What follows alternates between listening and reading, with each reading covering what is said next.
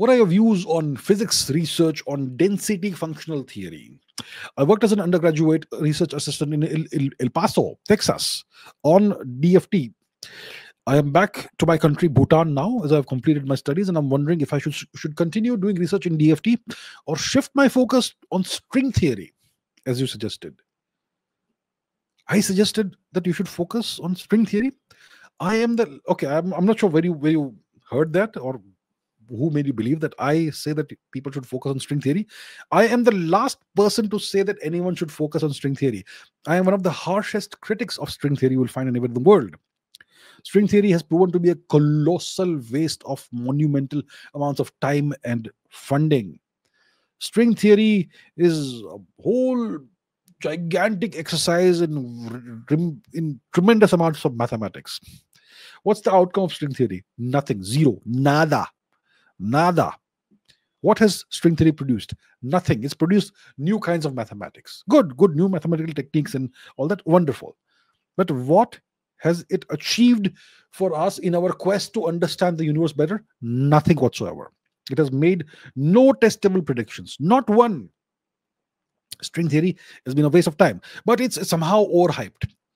And it's something that, that people find fascinating. And all the funding in the US goes to string theory. If you want to get a PhD in theoretical physics, nine times out of ten, you will have to do it in string theory. Otherwise, you will be marginalized. You won't get a PhD. So here's a good cartoon. Look at that. Everyone wants to get into string theory, but it does nothing for physics in the real world you want to do something that has applications in the real world if you want to be a productive member of society somebody who contributes something of value to society. So i think the answer should be very straightforward. You should focus should, should continue uh, focusing on dft right? So what is dft dft is applied quantum mechanics. It's it's uh, density functional theory. A functional is a function of a function.